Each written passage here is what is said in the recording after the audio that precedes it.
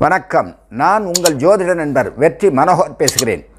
ஏழரை சனியை பற்றி ஒவ்வொரு ராசி வாரக பேற்றி பேசிக்கொண்டு வருகிறோம் பரிகாரங்கள் என்ன செய்ய வேண்டும் என்பதை பற்றி பேசிக்கொண்டு வருகிறோம். இன்றைய தினம் மீன ராசிக்குண்டான பரிகாரங்கள் என்னென்ன செய்ய வேண்டும் என்பதை பற்றி இந்த பதிவில் பார்க்க போகிறோம்.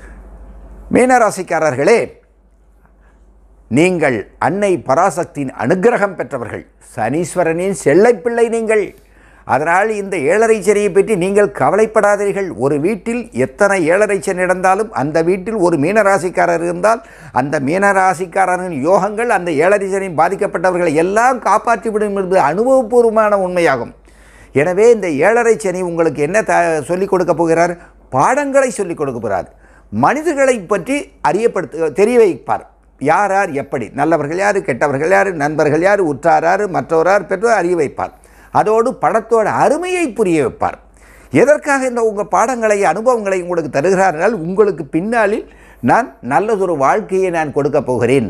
அதற்கு முன்பு நீங்கள் அறிந்து கொள்ளுங்க புரிஞ்சிக்கோ அறிஞ்சிக்கோ தெரிஞ்சிக்கோ பக்குவப்பட்டுக்கோங்கிறது தான் இந்த சனிபகவான் உங்களுக்கு பாடங்களை கற்றுக் கொடுக்கிறார் என்பதை மட்டும் மறந்து விடார்கள் ஏனென்றால் சனி பகவான் நீதிபதி.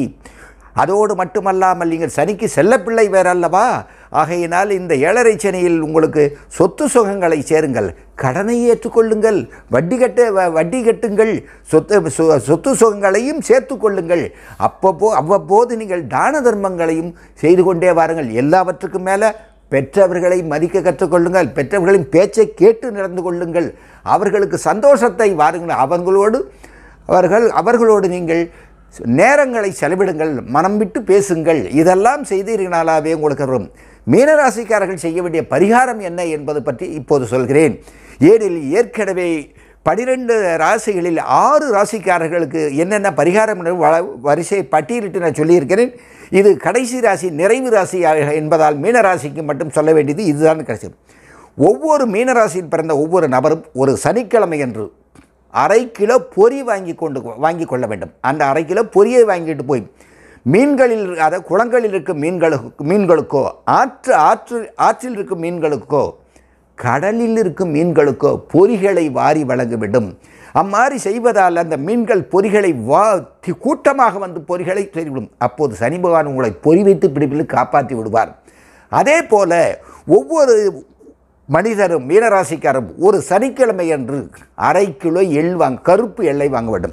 கடையில் கருப்பு எள் வாங்குவது கைகளால் வாங்கக்கூடாது. நீ அது கடைக்காரன் மேஜையில் வைக்க சொல்லிவிட்டு அதிலிருந்து நீங்கள் கையால் எடுக்க வேண்டும். உங்கள் கையால் க- வாங்க வேண்டாம். அந்த எல்லை எடுத்துக்கொண்டு போய் மீன்களுக்கு உணவாக போடுங்கள். உங்களுக்கு இந்த ஏழரை சனி தாக்கத்திலிருந்து அந்த சனி பகவான் உங்களை காப்பாற்றி விடுவார். ஏனென்றால் மீன்களுக்கு நிற்கிற மச்ச அவதாரம் எடுத்தவர் பெருமாள். பத்து அவதாரங்களில் தசாவதாரங்களில் மச்ச அவதாரம் எடுத்த பெருமாள் அல்லவா? அதனால் அவருக்கு நீங்கள் மே மீன்களுக்கு உணவாக போடும்போது பெருமாளின் அனுகிரகத்தையும் ஆஞ்சநேயர் அணுகத்தையும் ஒன்று சேர வாங்கி விடுவார். சனீஸ்வரனின் சந்தோஷங்களையும் உங்களுக்கு வாங்கி விடலாம். அதனால் ஏழரை சனியரப்ப ஏழரை சனியர் பயப்படாதீர்கள். தானங்கள் செய்யுங்கள் தர்மங்கள் செய்யுங்கள் ஏழை எளியவர்களுக்கு உதவுங்கள் முதியோர்களுக்கு உதவுங்கள். முதியோர்களுக்கு அவர்களுக்கு உதவிகள் செய்து அவர்களின் ஆசிகளை பெற்று விடுங்கள். அதுதான் உங்கள் ராசி. அதனால் இதை பற்றி நான் சொன்னதெல்லாம் நீங்கள் யோசியுங்கள். உங்கள் ராசிக்கு இறைவன் யோகங்களை வாரி வழங்கிடுவாய் என்பதில் எல்லளவும் சந்தேகமில்லை. இதற்கு மேலும் உங்களுக்கு சந்தேகம் இருந்தால் பயம் இருந்தால் ஏழரை சின்னமை மேம்பாடுபடுத்தி விடுமோ? நம்ம ஏழை சின்னமை கஷ்டப்படுத்தி வேண்டும் பயம் இருந்தால் நீங்கள் உங்கள் சுய ஜாதங்களை என்னிடம் எனக்கு அனுப்பி என நான் சொல்லும் பரிகாரங்களை செய்து அதன் மூலம் நீங்கள் முழுமையான பயன்பெற்று செல்லுமாறு வேண்டுகிறேன் வாழ்த்துகிறேன் வாழ்க வளமுடன்.